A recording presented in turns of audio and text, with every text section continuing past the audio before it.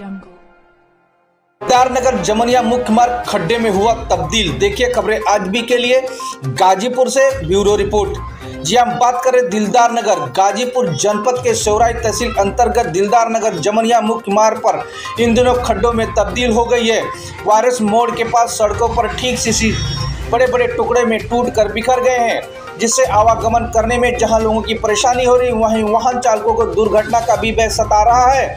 दिलदार नगर गाँव निवासी सपा नेता रिशु यादव ने गंभीर आरोप लगाते हुए कहा कि तत्कालीन भाजपा विधायक द्वारा सड़कों पर मरम्मत के नाम पर धन उतार लिया गया है। इन सड़कों पर निर्माण अथवा मरम्मत कार्य कराया भी गया। वहीं सड़कें महत कुछ माह में पुनः खड्डों में तब्दील हो गई हैं। सड़कों में खड्डे हो जाने से आवागमन में परेशानी होती है। वहीं स्थानीय लोगों को वाहन को भी काफ़ी परेशानियाँ झेलनी पड़ती है। पार्टी जिला कोषाध्यक्ष, ग्राम सभा बहुआरा। कलीम जी दिलदार नगर जमनिया मार्ग काफ़ी दिनों से जर्जर अवस्था में है। किन तरह से परेशानियों का सामना करना पड़ता है और आप लोगों द्वारा क्या कार्रवाई की गई है?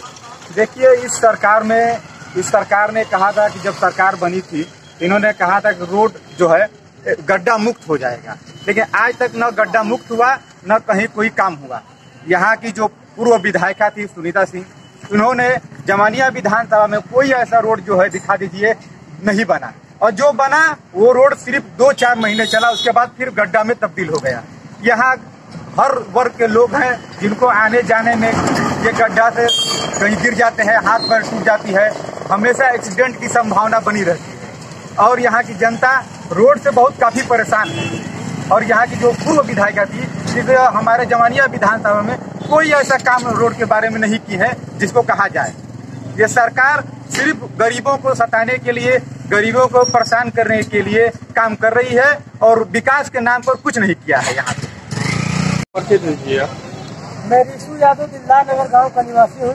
समाजवादी छात्र सभा का जिला महासचिव जैसे भी दिलदार नगर जमनिया मार्ग काफ़ी दिनों से जर्जर अवस्था में है। लोगों को क्या परेशानियाँ झेलनी पड़ रही है? दिल्लार नगर जमानिया और भदौरा तक जो मार्ग है कीमत आप ये कहिए कि तीन चार साल से लगातार इस पे ट्रक नहीं चल रही। थी ओवर लोड जो बालू चलता था। अगर वो चलती इस पर तो आज जो रोड आप देख रहे हैं, ये और गड्ढा होता। है इसमें पैदल चलना दुश्वार हो जाता। है लेकिन भारतीय जनता पार्टी की सरकार ने, विधायिका जी ने इस रोड पर पैसा पास करा के एक एक बार नहीं दो दो बार तो उतना ही काम हुआ कि रोड एक महीना चला, दो महीना चला फट गया। ऐसे कई रोडों का निर्णय उनके सरकार पैसा पास हो गया, काम नहीं हुआ।